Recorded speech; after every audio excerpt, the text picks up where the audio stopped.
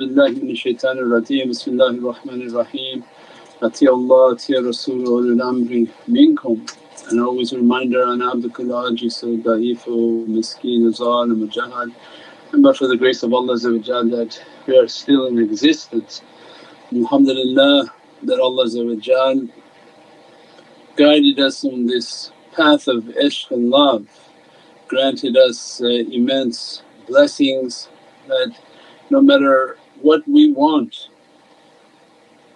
that if we will and think that we control our will and that we are going to will ourselves on a straight path, that it can only be through Allah and only Allah can guide the servant and take them onto the path of goodness and good character.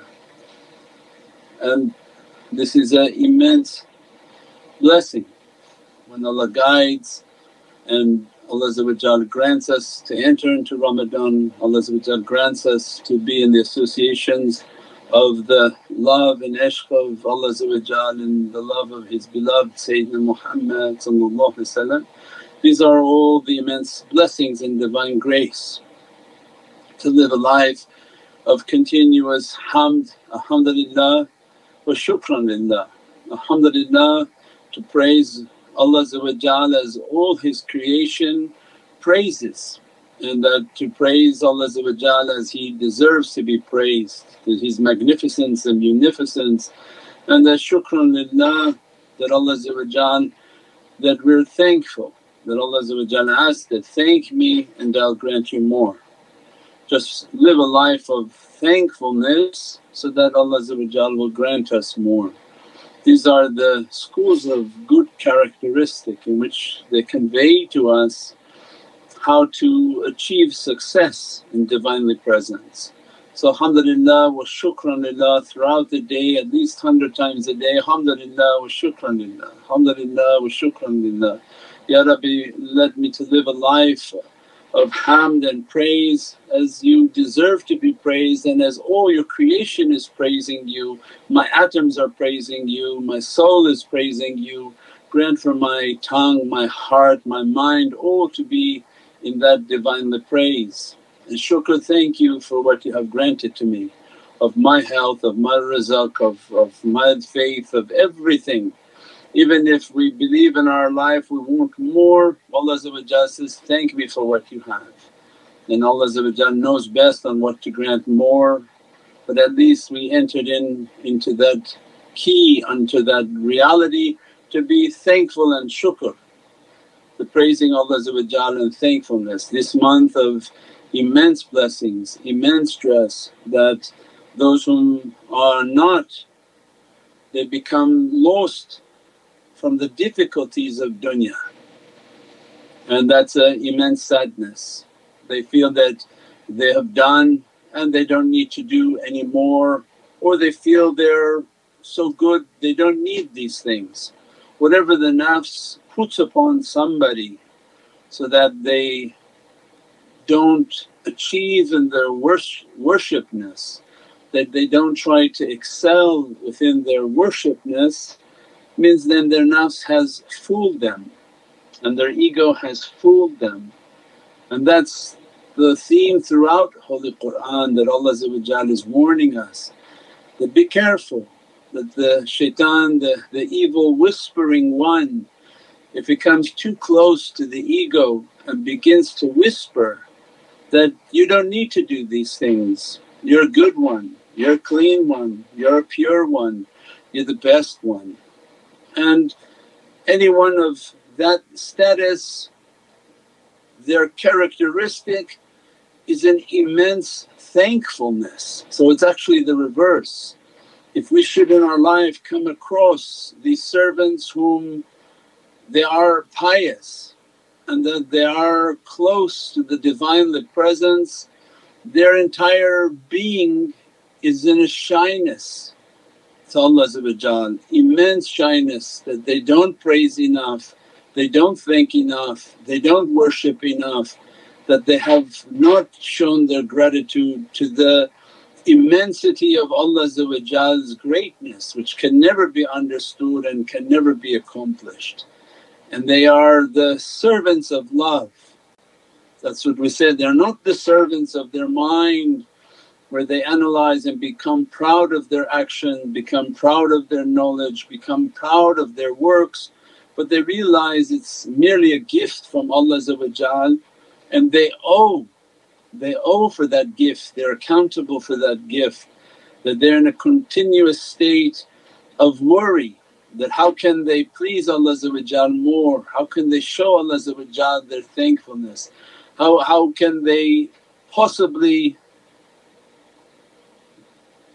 express to Allah that immense love and immense gratitude. That's the characteristic of somebody whom in their heart may have a sense of piety. The false piety or false goodness and false comfort is the one whom listens to the waswas and begins to say, I don't need to fast this year, I've done so much. Or I don't know what you people are talking about, I'm a good person. And that's the danger, that's the, the whispering waswas of shaitan and, and bad ego, bad character. And as a result of listening to that waswas they are drawing further away from Divine grace and Divine blessings. And that's the difficulty as they begin to draw away from that Divine grace means that when we're thankful and humble and continuously trying to excel in showing our love for Allah it's like moving towards the fire. When you move towards the fire you feel the immense warmth of that light, the immense proximity and shyness that, Ya Rabbi oh that you've given to me. How can I show more, how can I do more, how can I go out and get your attention, how can I do my dawah, how can I feed people, help people, how can I be something that you would look and be pleased with me and not to have regret that look this somebody whom wasted what we have given or this somebody whom they wasted their life in the pursuit of their world instead of their hereafter. So that characteristic is moving toward the light and the one whom follows their nafs and follows the evilness and the whispering of the waswas they turn from the light. And however clever they think they are they still turned away from the light. And as a result every step they make takes them into the darkness and into the cold and that's the sadness. They think they're clever. As much as you talk to them they're very proud and very arrogant. But the danger shaitan has flipped their compass and they're stepping away from the light. And anyone who moves away from the light begins to experience darkness. As a result of darkness comes ignorance. And from ignorance comes a, a coldness because they don't feel the love and the embrace of the Divinely Presence. And they become more ignorant and more ignorant.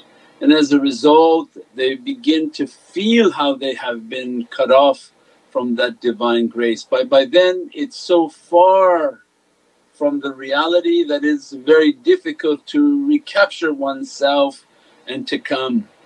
This is the danger of not connecting. This is the danger of the groups that say that we don't need a shaykh. This is a wilderness that beyond imagination, its landmines are everywhere its direction like a forest that you can't see where the sun is shining. So when we watch these movies they enter into a dark forest. You know that by the forest when they want to guide themselves they have to go above the tree heights just to see where the sun is and by the direction of the sun they can tell if they're moving north, south, east and west. So means what? You have to have a connection with Prophet If you're not able to connect with the sun and the moon on earth, on earth you're lost. Of nighttime navigation means in time of, of ignorance and fana Allah gave for us our guidance and navigation is the moon and the stars. So those whom traverse the world and all of its difficulties they look to the heavens. By the moon and the stars they can understand what direction they're travelling and take themselves out of difficulty. And in the daytime if Allah was to throw you into a jungle in a forest, if you can't see the sun you become lost. You don't know which direction you're travelling until you've travelled so far from your destination that you've entered into the abode of hardship. That's why Allah's blessing is for guidance. So these people whom say, we don't need a shaykh, so then which direction are you going in this forest? Because the devil comes to you and Allah describes throughout Holy Qur'an that makes your deeds to seem fair for you. So when you're walking blindly within a forest he's coming to you and say, you're doing good, you're great, you know, don't worry, take another step. And as a result they step, they step, they step but they have stepped so far away from Divine grace. That's what we said their characters change. No matter even if they think they're keeping their prayer and then they slow down their prayer, then they don't really, really pray. They, they say, I don't need to fast this Ramadan, I don't need to do this, I don't need to do that. Whatever it is, slowly, slowly shaitan begins to take away their goodness and their deeds until they become lost within a forest of, of complexities and the abode of confusion. That's for the one whom decides they don't need a shaykh. They don't need the compass, they don't need the guidance. But Allah gave to us the sun and the moon, gave to us the example within ourself and on the horizon. So when somebody says, why do I need a, a, a guide? So then why did Allah describe the sun and the moon? Other than an astrology class, Allah was giving a hint to the world of guidance that you need those to be guided on this earth. What about those whom encompass that reality within their being? That's what we talked about. Sayyidina Ibrahim's journey into the heavens last night and throughout the tariqah teachings that when we journey within ourself and we realize these lights and these energies and these realities are to be opening, when Allah open the servant's heart means that their head become like a moon. Allah opens their heart and their heart becomes like a sun. And from the shining light within their being that they're illuminated within themselves because they took this path, they took that guidance and as a result Allah opened His heavens within their being that opened the light within your heart. And I took that light and I made it to be a shams and as a result your heart is a shining sun. The light that illuminates from your heart it's your own internal guidance. If the sun outside does not shine means a day of difficulty and darkness will come. When the Dajjal comes he operates through magic and magicians operate through darkness. Means that Allah will give to them their own heart and their own sun. And when your sun is lit and illuminated by Allah's divine lights, nobody can extinguish it. Because Allah has lit that heart like the sun and it burns through every badness and every every element will be burned by the presence of that heart and as a result Allah lights for them their own galaxy. As soon as their heart is lit it begins to illuminate their face and that's why we sing the qamarun qamarun because this, this is the way of that reality that their heart is lit and their faces are shining the light that entered into their face as a result of the sun and the moon they walk on this earth with that reality.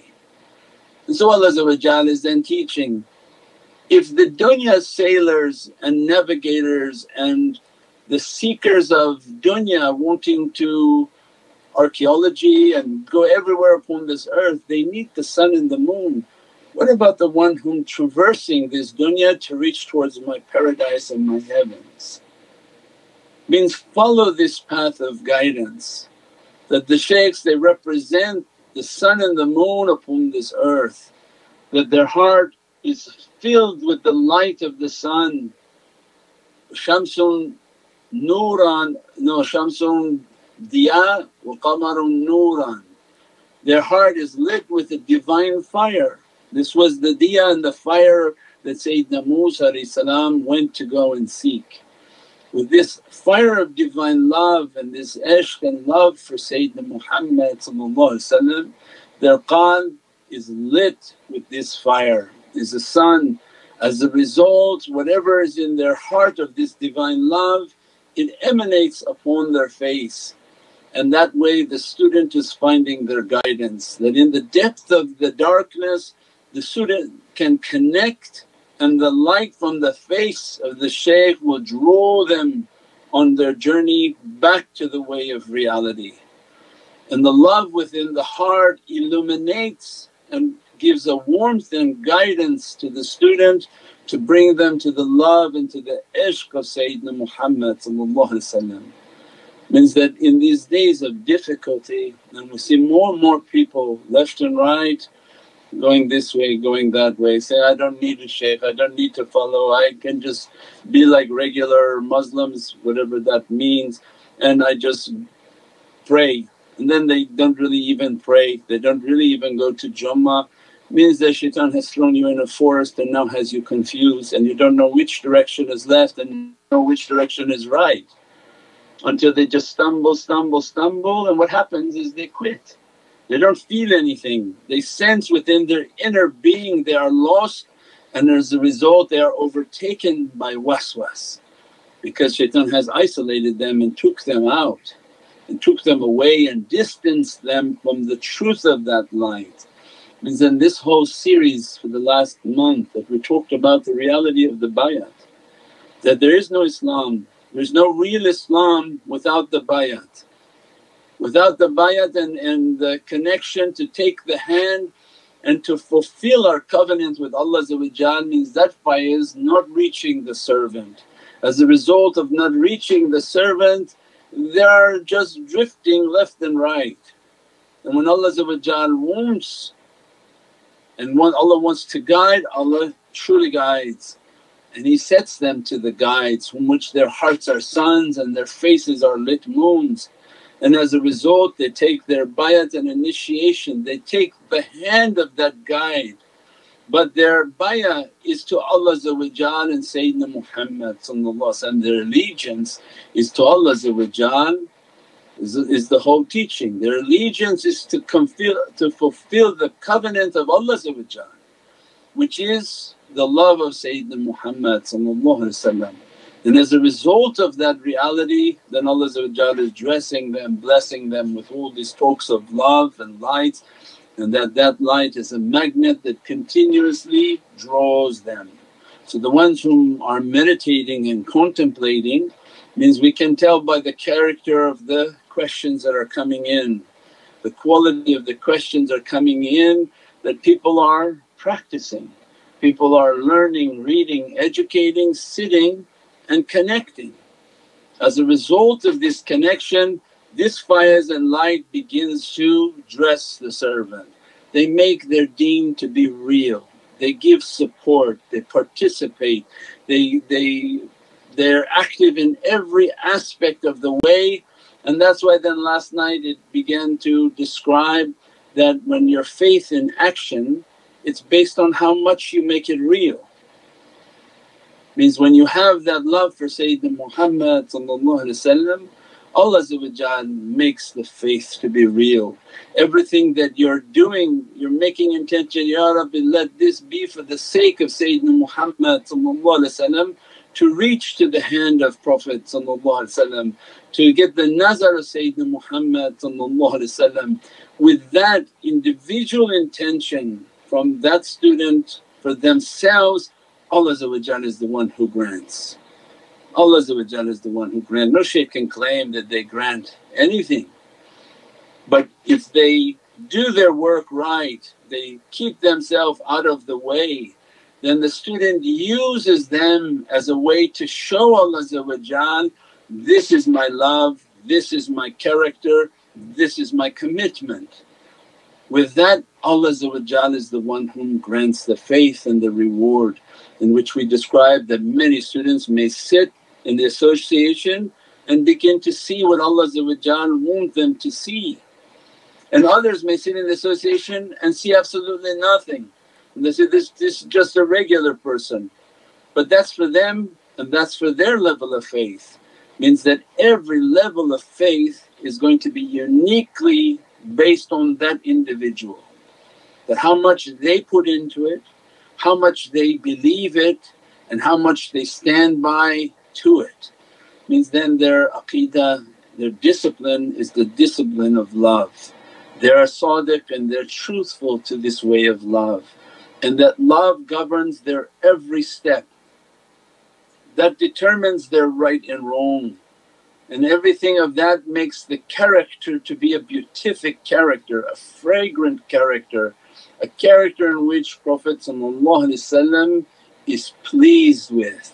And as a result anyone who follows that way inshaAllah then receives the rida and satisfaction of Allah and the rida and satisfaction, the pleasure and the satisfaction of Allah the, the, the pleasure, satisfaction and forgiveness of Sayyidina Muhammad inshaAllah. We pray that Allah guide us always, istiqamu fi tariqat and that He keeps our feet firm upon our, our path and that this path of ishq and love its lights to emanate within the heart. We said the fastest most powerful bond is the bond of love, not the bond of aql, not the bond of aql. The, the real aql which how you spell in Arabic? Ayn, a qaf and a lam, right? So means that these people whom saying, oh Allah created aql, use your brain, and don't follow them. that's not the, that's not the meaning of that reality.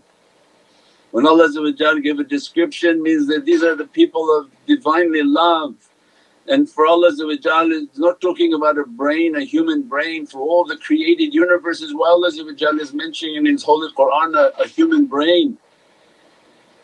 Why Allah mentioning for Prophet to describe what, what was first created in aql. But Allah's ayn is for Allah's ancient knowledges. Al Qadeem, it's ancient beyond our understanding of when Allah brought those knowledges and realities into existence. And as a result it becomes the manifestations of the realities that are dressing Holy Qur'an and that hits to the tongue of Sayyidina Muhammad and begin to illuminate all created universes. We pray that Allah open our hearts and open the reality and the oceans of light and love that are an eternal reality and that bond us, bond us to the reality of Sayyidina Muhammad and open for us Allah's ancient knowledges the knowledges that are ancient and qadeem and that they manifest through the holy power of Qur'an and every qudra and every power that coming out and the only way to reach to that is through lisan al-haq and the, the speech of Sayyidina Muhammad and in the world of light the tongue of Prophet is his heart, is the heart, the heart is a tongue not the physical tongue. This physical tongue is nothing comparison to the speech that comes from the heart. We pray that Allah dress us and those whom their hearts are open they hear that speech, they feel that speech and they are eternally dressed by that speech. Subhana rabbika rabbil izzati amma yasifoon wa salaamun al mursaleen walhamdulillahi rabbil alameen. بحرمة محمد المصطفى وبسير سورة الفاتحة